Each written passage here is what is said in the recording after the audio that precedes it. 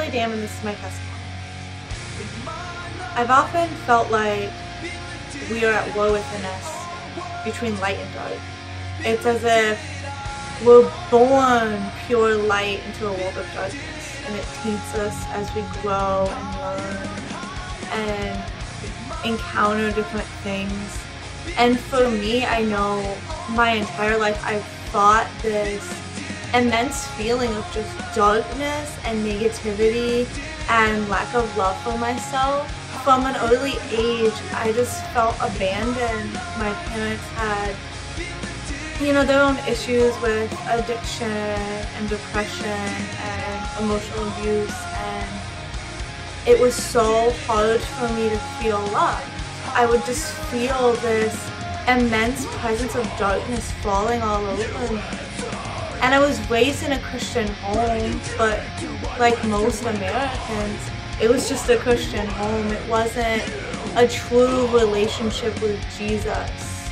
My parents really created relationships with Jesus as I got older and, and began to develop. So I saw them interacting with Jesus and I went to church a lot, but I knew who he was. I just didn't know how to love him and I didn't know how much Jesus loved me. I remember thinking I was just ugly and fat and feeling so apathetic towards life. And as I got into high school and college and dealt with all of these things and, and this self-loathing, I began to seek after Christ on my own.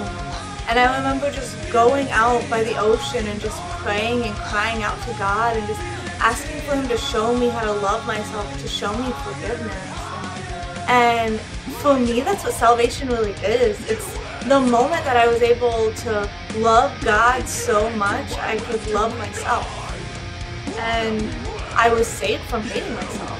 I mean, really we all have different types of sin that we deal with, but I know for me it's just this negativity and that through Christ, He's allowed me to find more joy. That I can learn to love who I am, that I can learn to be able to walk outside of my house in the morning and have confidence in being a woman of God and not having to find my identity in anything else. And now that I know His love, I don't have to fight myself anymore. I don't have to be worried about driving alone because I'm afraid I'll kill myself if I'm alone too long or hiding all the blades in my house because I don't love myself. I can just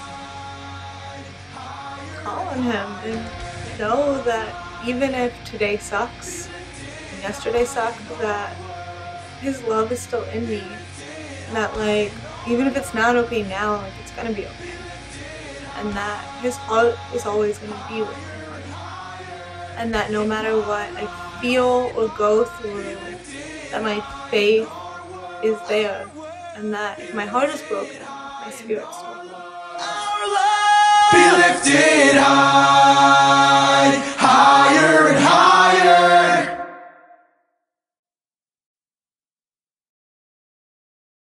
Holding my hand. Wait.